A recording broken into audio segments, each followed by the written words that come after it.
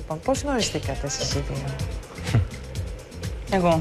Ε, γνωριστήκαμε σε μια παραλία από μια κοινή μας γνωστή. Είπα ένα χαίρο πολύ. Ε, χαίρο πολύ. Όχι, δεν ήταν έτσι ακριβώς. Είπα Ε, χαίρο έτσι, πολύ, αλλά έτσι δεν είχα ακριβώς. κάτι άλλο να πω σε έναν άνθρωπο άγνωστο. Είναι μερικά πράγματα να γίνουν σε αυτή τη ζωή. Ε, ήταν καρμικό. Ε, και όντως, ε, μέσα σε 1,5 μήνα από τότε ε, γίναμε ζευγάρι. Και τέλος. Πώς αποφασίσατε τόσο γρήγορα να παντρευτείτε; Εγώ ήμουν από τους ανθρώπους που ήθελα να κάνω από μικρή οικογένεια για να μπορώ να μεγαλώσω τα παιδιά μου και να είμαι όσο πιο κοντά τους μπορώ. Είπα κάποια στιγμή, θέλω να παντρευτώ, θέλω να κάνω παιδιά. Βρήκα τον άνθρωπό μου, τέλος. Και ήσουν 25 χρονών.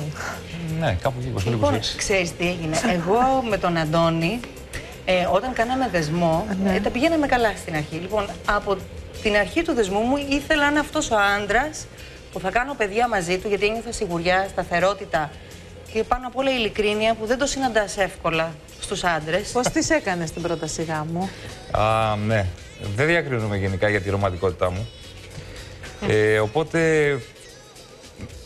κάπου πηγαίναμε, έμενα πειραιά τότε, κάπου πηγαίναμε με τα πόδια. Και εκεί που περπατάμε λέω, Κορινάκη δεν παντρευόμαστε. Έτσι; Ναι, η Κορίνα νομίζω ότι της έκανα πλάκα, εννοείται.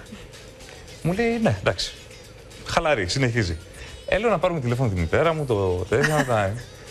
Και ε, ξαφνικά αρχίζει και τρέμει η Κορίνα, λέει, μάλλον σοβαρά μιλάει.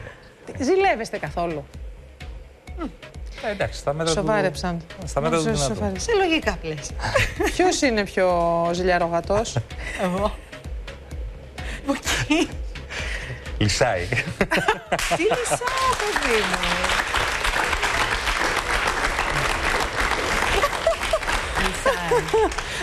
E Lisal.